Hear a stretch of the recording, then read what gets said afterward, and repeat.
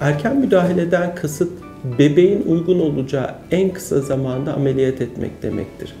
Bebekler doğar doğmaz da ameliyat edilebilir. Ancak ne zaman sadece bebeğin hayatını riske atan bir durum söz konusu olursa bizim uğraştığımız konularda en erken ameliyat ne zaman oluyor? Eğer kafa kemikleri büyümüyorsa, beyin içeride sıkışıyorsa o zaman bebek birkaç aylıkken bile ameliyat edilip kafa kemikleri açılabilir. Eğer dudak yarığı varsa o zaman da bebek için hayati bir şey söz konusu olmayıp 3-5 ay büyümesi beklendikten sonra 3 aydan sonra ameliyatı yapılabilir.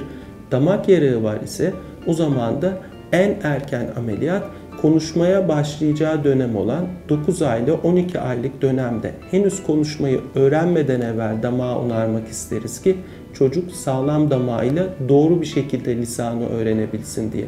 Buradaki erken kavramı olabildiğince bebeğin hayatını riske atmayacak en kısa zaman diye algılanması gerekir.